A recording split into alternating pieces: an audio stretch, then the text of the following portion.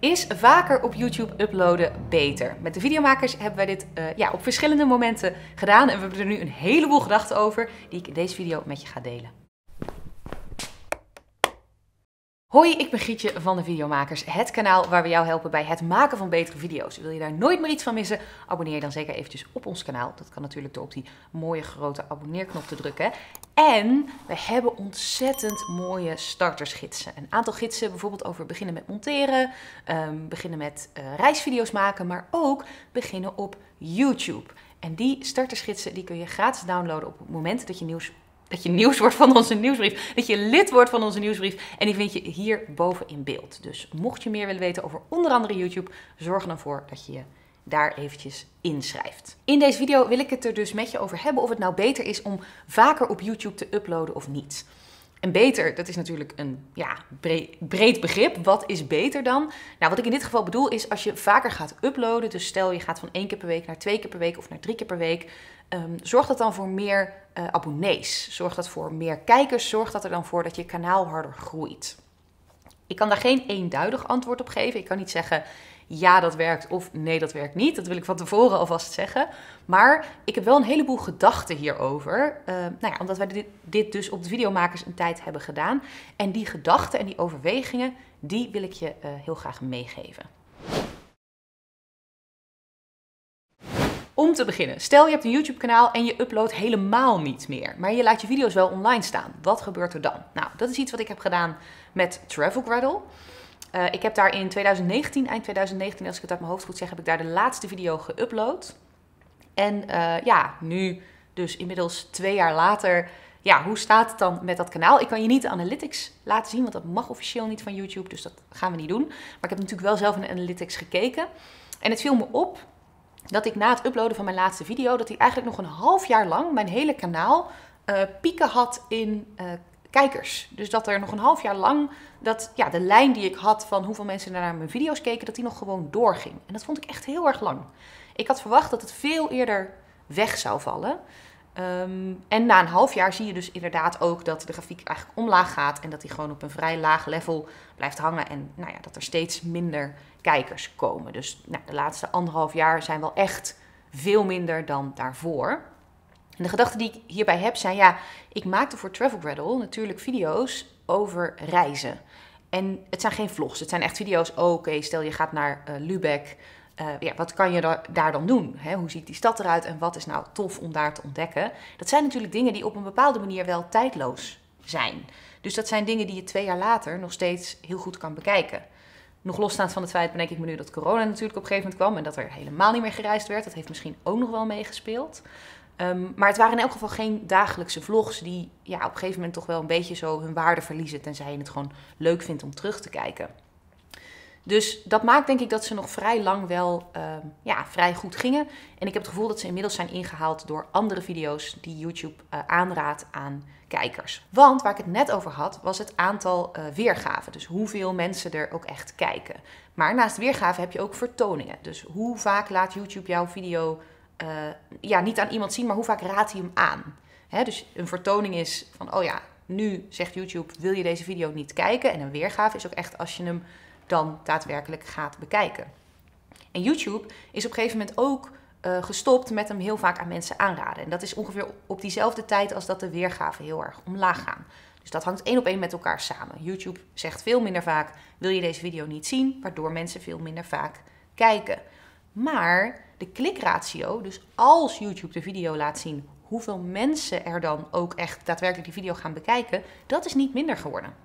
Dus het is niet zo dat op een gegeven moment minder mensen op mijn video gingen klikken. Het is echt YouTube zelf die uh, ja, de video's minder vaak is gaan aanbevelen aan mensen, waardoor er minder weergaven zijn. Het is niet zo dat mensen het per se minder interessant zijn gaan vinden. Dat vond ik wel een interessante gedachte. Dus ik heb ergens het gevoel dat YouTube wel de voorkeur geeft aan actieve kanalen. Uh, ja, kanalen die content blijven maken en tegen kijkers willen zeggen: Oh ja, daar kan je heen, want mensen blijven dan ook content genereren. Um, nou ja, wat ik op zich helemaal niet gek zou vinden. Maar ja, ik vond het wel een, uh, een interessante gedachte. De conclusie die je hier dus uit zou kunnen trekken, helemaal niet uploaden, is niet zo goed voor je kanaal. Nou, die had je denk ik zelf van tevoren ook wel kunnen bedenken. Um, maar stel, je hebt uh, één keer per week versus twee keer per week. Wij hebben dit een periode gedaan. Is het dan beter om twee keer per week te uploaden dan om één keer per week te uploaden? Om te beginnen daarover een soort van ehm, theoretische gedachten. Dus de praktijk komt dan later. Eerst eventjes, ja, wat, wat zou je hier in theorie over kunnen denken? Je zou kunnen zeggen dat vaker uploaden de kans vergroot dat mensen je kanaal vinden. Want stel, uh, we gaan toch helemaal terug naar het begin van de videomakers. We hebben één video online staan. Stel dat dat de video is, um, hoe monteer je in iMovie? Iedereen die jou gaat vinden was geïnteresseerd in de video, hoe monteer je in iMovie? Maar stel dat we de tweede video maken, uh, hoe monteer je in DaVinci? En de derde video, hoe monteer je in Premiere? Dan is het aantal mensen wat ons vinden, is opeens veel groter geworden. Dus je zou kunnen zeggen, hoe meer video's, hoe groter de kans dat um, mensen je kanaal gaan vinden. Hoe groter de kans dat er een video is die qua onderwerp aansluit bij ja, wat zij aan het zoeken waren. Uh, of waarvan YouTube dacht van, hé, hey, daar ben je in geïnteresseerd. Plus, hoe meer video's je hebt, hoe groter ook de kans is dat daar een video bij zit die het heel goed doet. Op het moment dat jij een video hebt waar veel mensen op klikken, die veel bekeken wordt, dan gaat YouTube die video weer aan meer mensen aanraden. Uh, en als mensen jouw kanaal ontdekken, kan het best zijn dat ze daarna andere video's uh, van jouw kanaal gaan kijken. Want wij hebben best wel video's op ons eigen kanaal die helemaal niet goed gevonden worden per se. Omdat ja, weinig mensen denken dat ze het onderwerp interessant vinden of mensen termen niet kennen. En wij die dan wel in de titel hebben staan, dus dat mensen misschien denken, ja, ik weet niet zo goed. Nou ja, of ik zoek daar niet op, laat ik het zo zeggen. Maar op het moment dat je dan dus binnenkomt met zo'n populaire video, bijvoorbeeld hoe monteer je in iMovie, dan kan het best zijn als je op ons kanaal gaat kijken dat je denkt, oh, die video moet ik ook eens zien. Dus dat op die manier zorg je er binnen je eigen kanaal voor dat mensen weer uh, ja, al je video's gaan bekijken. Dus je zou kunnen zeggen dat hoe meer video's je hebt, hoe groter de kans dat mensen je vinden en gaan doorklikken. En als je twee keer per week uploadt, dan heb je natuurlijk sneller meer video's. In het begin is dit dus ook bijvoorbeeld een strategie die Riske heeft toegepast voor haar kanaal uh, Robin Roosendal. Toen zei ze, ik ga gewoon twee keer per week uploaden. En ze merkte in die tijd ook dat het sneller ging. dat je sneller meer video's hebt, dus ook sneller meer kijkers, uh, uh, sneller meer weergaven. Dus dat je kanaal daar eigenlijk gewoon sneller van groeit. Ik heb natuurlijk ook een heleboel andere YouTube-video's gekeken over dit onderwerp. Dat doe ik überhaupt al, omdat ik wel een beetje wil volgen wat er allemaal gebeurt op YouTube. En een andere theorie was weer dat mensen zeiden: ja, je wil eigenlijk juist niet te veel uploaden en dan dat de kwaliteit achteruit gaat. Je wil juist dat de inhoud goed blijft. Dat je goede video's blijft maken. En dan kun je beter minder vaak video's maken die het wel heel goed doen. Dan dat je vaker video's maakt die misschien wat minder zijn van kwaliteit. Of wat minder zijn qua inhoud. En daar valt ook wel wat voor te zeggen. Want op het moment dat jij een video maakt in YouTube die goed bekeken wordt. Waar mensen lang naar kijken. Waar mensen graag op klikken dan geeft YouTube die video een boost. En dan krijgt je kanaal dus ook weer een boost. En dat is wel wat wij ook merkten. Op het moment dat je video's maakt die minder uh, gezocht worden. Wat doen wij overigens af en toe uh, uh, expres. En dat vinden we ook helemaal niet erg. Want we weten dat sommige onderwerpen gewoon niet voor iedereen interessant zijn. Maar de mensen die het wel interessant vinden. Of die net die informatie zochten. Die zijn er heel blij mee. op het moment dat je dat soort video's maakt. Dan zie je achter de schermen bij YouTube, oei, deze video van je laatste 10 video's staat hij op nummer 10. Weet je wel, hij doet het echt minst goed van alle video's. Ik merk altijd dat de video daarna dan ook meer moeite heeft om lekker opgepakt te worden. Terwijl als je video uh, 1, 1 uit 10 is, dus echt een topvideo waar iedereen meteen op klikt, even gechargeerd gezegd, um, dan doet de video daarna het eigenlijk ook meteen beter, omdat YouTube hem maar meer mensen gaat aanraden. Dus ik kan me goed voorstellen dat de theorie van uh, als je betere content maakt, is dat uiteindelijk beter voor je kanaal, dat daar ook wel wat voor te zeggen valt. Dan de praktijk. Wat hebben wij daar gemerkt? Wij hebben op twee momenten vaker geüpload bij de videomakers. De eerste keer was toen corona net uh, ja, de eerste lockdown er zeg maar was. Toen dachten wij, hey, oei, iedereen moet nu thuis blijven. Uh, mensen hebben behoefte aan livestreamen, videobellen, weet je wel, dat, dat daar kennis over is. En toen hebben we besloten om één week gewoon vijf dagen per week te uploaden. Volgens mij hebben we dat maar één week gedaan, toch? Of hebben we dat twee weken gedaan? Nee, niet meer. Hmm. Ik, één. ik dacht ook één omdat we dachten, deze informatie moeten we nu niet uitspreiden over vijf weken. Dat je over vijf weken gaat zien hoe je moet livestreamen. Dit wil je nu meteen weten. Dus in één week gewoon één opnamedag gedaan. Bam, alles gewoon in die eerste week online geknald. En de tweede keer was nadat we de Hogenbelprijs hadden gewonnen. We hebben de Henny Hogenbelprijs gewonnen. Heb je ongetwijfeld meegekregen. En toen dachten we, wat kunnen we nou doen met het, uh, het bedrag wat we gekregen hebben? Laten we twee keer per week gaan uploaden. Um, dan kunnen we twee keer zoveel kennis delen, maar ook bijvoorbeeld uh, uh, de serie Beginnen op YouTube. Die hadden we een hele tijd geleden gemaakt en ondertussen was in YouTube weer van alles veranderd. Um, nou, we dachten, laten we die ook uh, opnieuw maken. En dat zouden we anders eigenlijk niet gedaan hebben, omdat we dachten, ja, als we dat voor de, de één keer per week uploads zouden doen, ja, voor onze vaste kijkers is het niet zo interessant. Want die hebben het waarschijnlijk al gezien. Of ja, nou ja, we, deden dat echt puur. We konden dat eigenlijk alleen maar doen omdat we dus twee keer per week gingen uploaden. Waarbij we dus één video soort van inhoudelijk, uh, ja, soort van high quality content.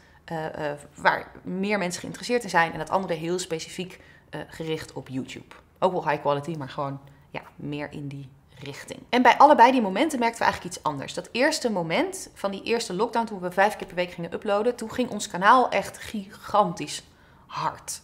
We hebben echt op, op de dag dat de lockdown inging, zo ongeveer een, een, een, een ja, verdriedubbeling gehad in hoeveel kijkers we hadden. En dat is toen echt een hele tijd blijven hangen.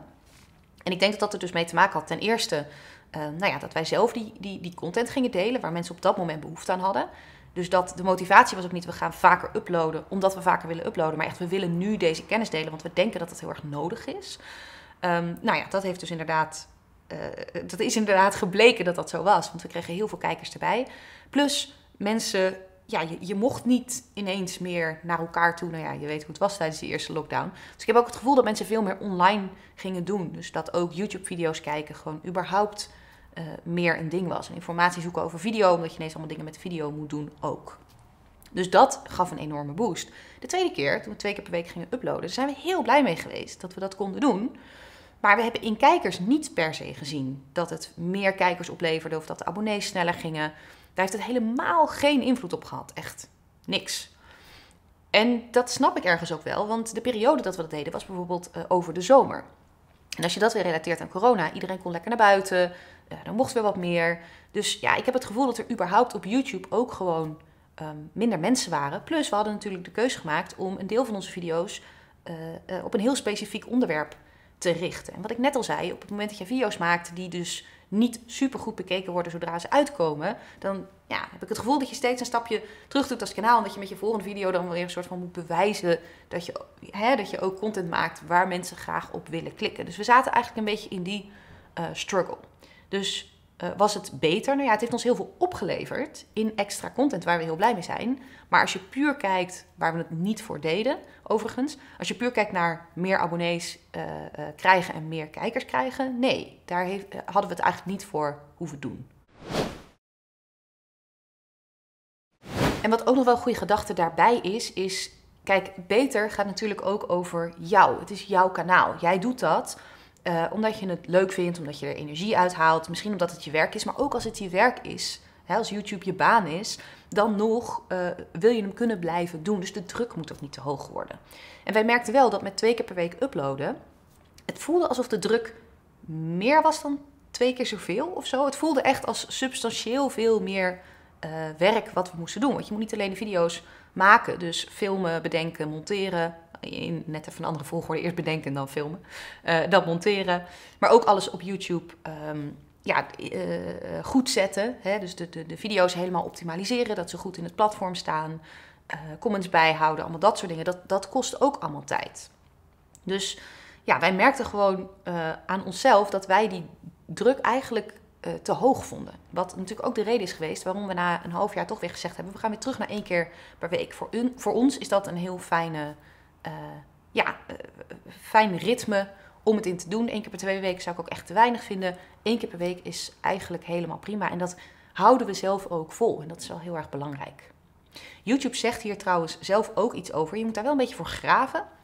Maar ja, YouTube heeft ook allemaal artikelen over hoe ga je als creator om met YouTube. En daarin zeggen zij dat ze analyses hebben uitgevoerd en dat zij geen één op één verband hebben gezien tussen mensen die vaker uploaden, dat die het altijd beter zouden doen dan mensen die uh, minder vaak uploaden. En ze geven daarin dus ook aan van joh, denk ook vooral om je mentale gezondheid. Upload vooral in een tempo wat je kan volhouden.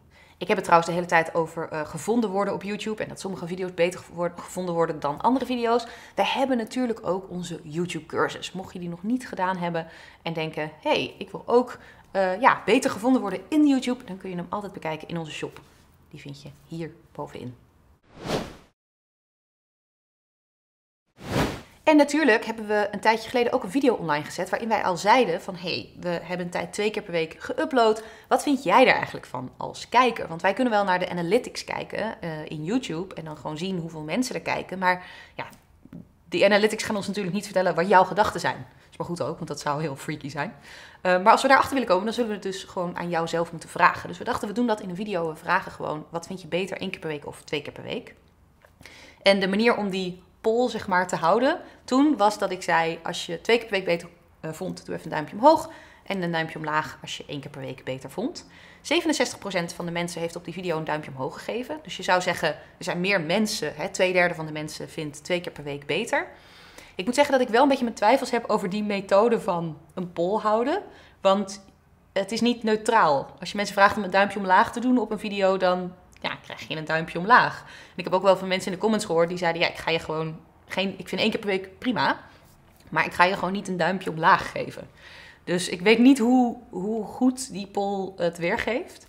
Uh, maar ja, ik denk niet dat er een heel grote voorkeur is um, voor de een of voor de ander. Een aantal dingen uit die comments die ik zeker nog even wil benoemen, want ik vond het heel leuk om alle reacties te lezen.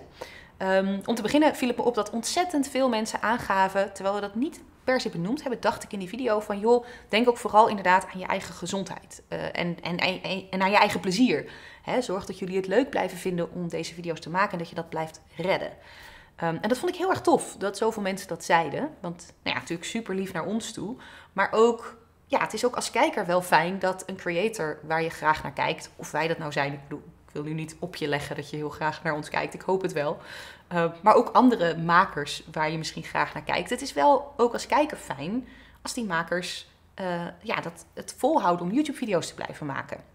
Een van mijn favoriete makers had best wel een tijd, ja, een soort burn-out denk ik. Of nou ja, dat is in elk geval geen video's uploaden. En dat vond ik jammer. Dat miste ik. Omdat ik dacht, ja, ik vind gewoon wel dat je leuke content maakt. Dus ik zou het wel leuk vinden als het, al is het maar één keer per maand, uh, er is en er een uh, nieuwe video komt.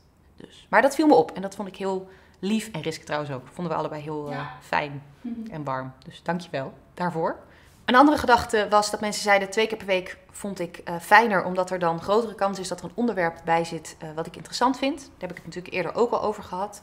Um, en dat snap ik wel. Want stel dat wij een keer, nu hebben we ook een woensdag video over YouTube. Ja, als jij video's maakt, maar niet per se voor YouTube, dan moet je alweer een andere, nog een week wachten. Totdat er weer een video komt waar je misschien wel interesse in hebt. Wij proberen dat wel altijd een beetje af te wisselen op ons kanaal. Dus we proberen zeg maar onze gezichten af te wisselen. Dat niet vier weken lang je alleen mij ziet of alleen risken. En we proberen daarin ook de onderwerpen af te wisselen. Dat we niet een maand lang alleen maar uh, ja, YouTube-video's maken. Maar goed, ja, als we meer video's maken, is de kans groter dat er een onderwerp tussen zit wat je tof vindt. Ja. Wat ik ook leuk vond, was dat er mensen zeiden: nee, ik heb eigenlijk liever um, één keer per week een uh, goede video. En ik wil ook eigenlijk de tijd hebben, want wij maken ook best wel lange video's. Hè? Als je één video per week van ons ziet, dan kost dat al best wel wat tijd. Um, ik vind het ook fijn om nog tijd te hebben om video's terug te kijken van jullie. Want ik heb jullie kanaal pas net ontdekt. Of ik vind het gewoon af en toe interessant om een onderwerp nog eens te bekijken. Dat is natuurlijk ook vrij specifiek voor ons kanaal. Wij zijn een kenniskanaal. Dus wij maken eigenlijk een soort encyclopedie aan allerlei verschillende onderwerpen. Dus ik kan me heel goed voorstellen dat je denkt: oh ja, um, ik heb jullie kanaal net gevonden. En er zijn nog heel veel onderwerpen waar ik uh, de video nog van zou willen kijken. En als er dan per week twee nieuwe video's bij komen, ja, probeer dat tempo dan maar eens bij te houden. Dus ik snapte wel dat mensen zeiden: één keer per week is in die zin fijn dat ik gewoon de rust heb om deze video te kijken. Niet het gevoel heb dat ik achter de feiten aanloop. En dan gewoon eerdere video's ja, ook nog kan bekijken als ik daar uh, zin in heb. Want dan heb ik daar tijd voor. Wat me ook opviel was dat er soms gezegd werd dat we met twee keer per week naar onderwerpen gingen zoeken. Dat kan natuurlijk. Hè? Dat als je vaker uploadt, dat je op een gegeven moment denkt: ik ben mijn inspiratie kwijt of ik weet het niet meer. Of dat je dan video's gaat maken die een beetje meer ja, B-video's zijn, tussen aanhalingstekens. Van eigenlijk niet helemaal de kwaliteit die je zou willen leveren. Inhoudelijk bijvoorbeeld. Um, ik heb niet het gevoel dat wij dat uh, gedaan hebben. Dat wij echt hebben moeten zoeken. Of dat we meer of minder moesten zoeken dan anders. Dat verschilt gewoon überhaupt per filmdag. Er zijn gewoon periodes dat we heel veel inspiratie hebben en nou, dat alles er zo makkelijk uitvloept. En ik heb ook wel eens momenten dat ik in onze laterlijst kijk, want we hebben een document met alles wat we ooit nog eens willen filmen. En dat ik, maar goed, dat ligt misschien ook aan mijn bui, dat ik dan gewoon bij alles denk, nou, geen zin in. Oké, die doen we de volgende keer. Oh, dat is wel interessant, maar dan moet ik even induiken. Dat doen we ook niet nu. Dus ja, dat hangt ook een beetje van de mood af. Ik heb niet het gevoel dat dat bij ons per se het geval was. Um, maar goed, als maker is dat natuurlijk wel een gedachte om mee te nemen. Hoe vaak kan ik uploaden en dan nog steeds de kwaliteit die ik uh, wil hebben waarborgen? En het laatste wat ik ook interessant vond wat mensen zeiden is dat regelmaat fijn is. En dat vond ik grappig dat je, dat, dat dus dat mensen dat uit zichzelf zeiden van ik vind het heel fijn dat het bijvoorbeeld altijd op woensdag is of altijd op vrijdag als jullie dat maar vasthouden. En nou ja, dat doen we natuurlijk al heel lang, dus dat gaan we ook zeker vasthouden. Maar dat is als maker ook een goede om mee te nemen. Dat ik denk eigenlijk dat regelmaat, mensen weten wanneer er iets nieuws komt, of dat nou één keer per maand of één keer per week, dat dat belangrijker is dan dat het er elke week drie keer is. Dus uh, ja, mocht je nog niet een, een vast uploadschema hebben, dan is dat dus iets wat je zou kunnen overwegen. Laatste gedachte die ik nog met je wilde delen. En dat is niet de gedachte die wij uit de comments hebben gehaald, maar die ik ook weer uit een uh, andere video heb gehaald. Was iemand die zei: Ja, wat YouTube natuurlijk ook heel erg is, is een leerschool. Zo heb ik YouTube in het begin ook gezien. Ik wilde reisvideo's maken, omdat ik dacht, ik wil gewoon beter leren filmen. Dus ja, YouTube was voor mij gewoon een plek waar ik mijn video's neer kon zetten om beter uh, te leren filmen en om meer te leren over YouTube. En diegene zei, dan moet je sowieso door de eerste 100 video's heen voordat je een beetje komt op een punt van uh, kwaliteit maken. Dus dat is wel weer een overweging om te zeggen, ik maak gewoon even wat meer content, bijvoorbeeld in het begin. Uh, ja, om gewoon in dat videomaakproces te komen en gewoon door een heleboel video's heen te gaan en te leren wat ben ik nu eigenlijk aan het doen en hoe kan ik dit proces vergemakkelijken en hoe kan ik mijn video's beter maken? Wie zijn mijn publiek en hoe kan ik voor hen maken wat zij willen zien en terwijl ik ook maak wat ik graag wil maken. Goed, ik zei aan het begin van deze video dus al, ik kan niet een heel eenduidig antwoord geven op is vaker uploaden nou beter dan minder vaak uploaden. Maar ik hoop dat je nu wel een heleboel uh, ideeën, gedachten, uh, inspiraties hebt om voor jezelf te bepalen voor jouw YouTube kanaal hoe vaak per week uh, ga ik uploaden. In elk geval, bedankt voor het kijken en ik zie je sowieso de volgende keer weer.